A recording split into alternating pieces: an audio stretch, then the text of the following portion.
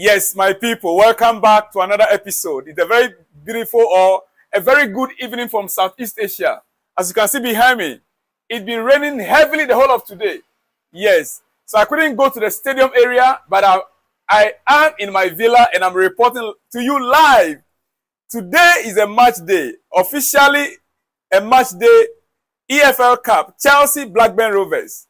Yeah, let me welcome in a very special way. You that is in Africa, in Nigeria, in Ghana, in Kenya, Uganda, any part of Africa, you are Southern Africa. You, you can see the lightning behind me, right? Yeah, it's been raining the whole day over here. The good thing is that here it, it, it, it doesn't really, it doesn't flood. The drainage system is set in Malaysia that once the rain is over, within few minutes, the whole water is gone. Yeah, only in the rural areas, in only in rural areas that it normally floods. But in the major cities, no. It can rain the whole day. Once the rain stops, within a few minutes, everywhere is dried up. Yeah. Anyway, let's come back to Chelsea. It's the D-Day, Chelsea Blackburn. I said it yesterday that our season is to begin from today. Today's game will be the kick-starting of our season. Or tonight's game should kick-start our season. Whichever way we want our December to begin or to end with, we are starting from this November, today being 1st of November. Yeah. So if we want to end the season well, we are starting with Blackburn Rovers tonight. That is my opinion. And our, our coach, Pochettino, has been speaking. Mauricio Pochettino urges Chelsea fans to get behind the players and admit that, admit that goal shy Nicholas Jackson needs support after the 32 million striker reacted angrily to supporters during the Blues 2-0 home defeat to Brentford. Yeah. The coach is trying to rally support of the fans. You know, he said we, there's a need for us to co continue to support the, the players. We should support them. Looking at the incident that happened or that took place between the player Nicolas Jackson and the fans last Saturday, the coach is appealing for support. He is appealing for support. Yeah. He says that Jackson was upset after being told to wake up by a fan shortly before halftime of his size 2-0 defeat at Stamford Bridge. The Senegal striker has struggled to find a net since his 32 million pound arrival this summer from Villarreal, scoring just two goals or just two Premier League goals and one in the Carabao Cup. I, I perfectly, you know that sometimes the truth of the matter is that it's not easy. It's not easy. The players are actually being paid to deliver, we know. But when the style of play, sometimes that you are a striker. If you don't receive the ball at the right place to score, what can you do? You have only two legs. You cannot add your, your hand to it to make it four. Only two legs you have. But there are some missed chances, missed opportunities. That is where Chelsea fans are angry. Chelsea fans, we are angry for some missed opportunities, missed chances that we thought could have been buried Yes, that is just the truth. That is just the truth. But in any case, tonight we are to rally behind the team. We are to rally behind the team. Yeah. And the match is about eight hours from now. The game is going to be about eight hours from now. So I'll be coming your way again with some other exclusives. But for now, let me give you a few details of what I expect tonight. And a legend Pat Nevin, I've been reading his articles a lot, and this is one thing that he has to say about Cole Palmer. I was I was worried uh, of saying this about Cole Palmer from Pat Nevin. I was worried of saying it loud before. I was worried of saying it loud before, but watching him at the bridge once again, I am convinced this lad could be world class very soon. He's the closest I have seen to a young Kevin De Bruyne for a very long time. That is how he described Palmer. Tonight, I expect Palmer to start a game, and I will expect him to continue his fine form.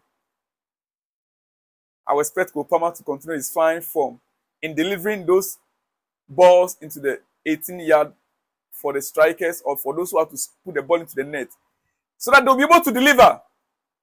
They need to deliver. As Cole Palmer delivers the ball into the net. There were two clear chances that he created. One for Cucurella, Marc Cucurella, and even at, is it Jackson also? And he created about two or three chances I can remember. His delivery, the timing of the delivery, especially the one to Cucurella, was excellent. I will expect Cole Palmer to continue to deliver in tonight's game. Yes. Yes.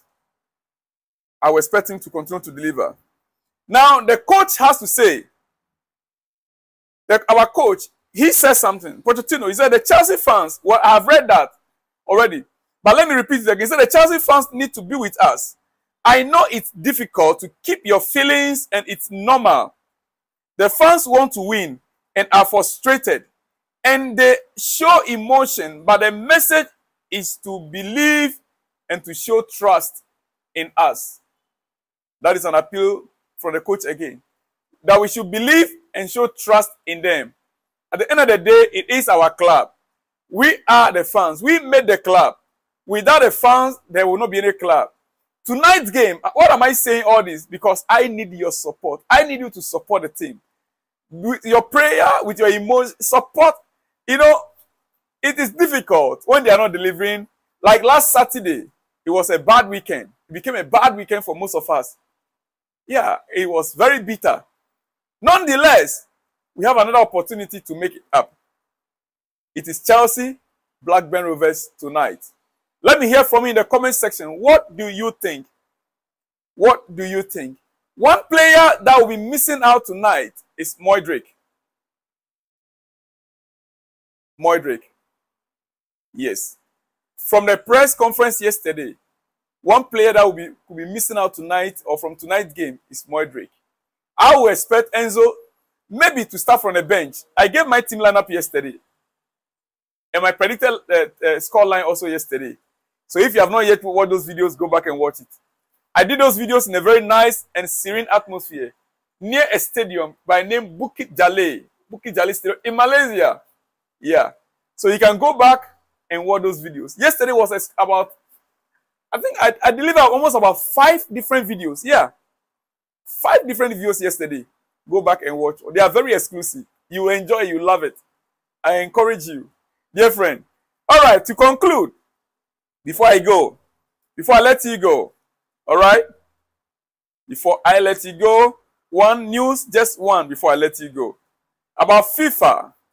FIFA has been accused of Human Rights Watch of ignoring its own rules through its process for awarding the 2030 and 2034 World Cup.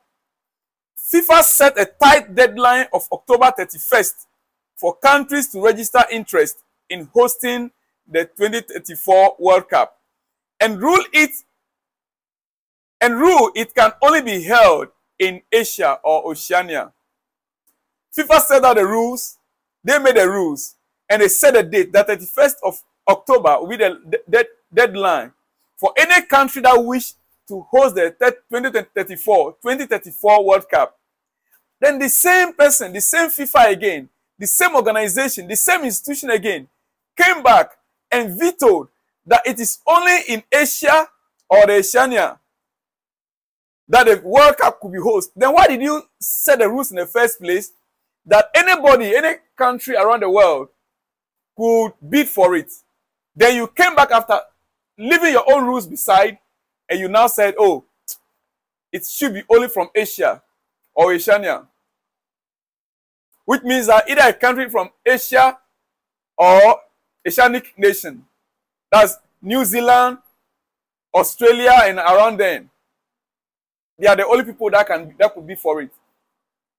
What that does is that right as it stands, therefore Saudi Arabia have become the only country to bid for the 2034 tournament.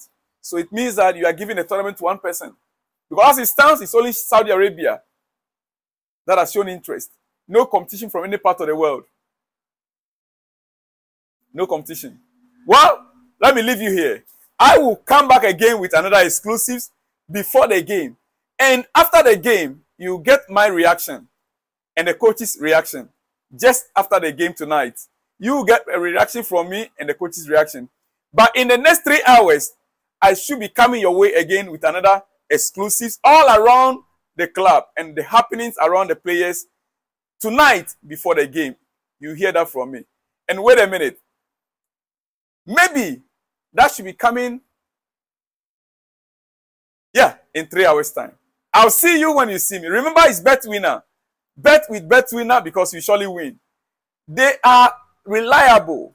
Register with BetWinner. Use my promo code TIM1979, T-I-M1979, and win tonight's game.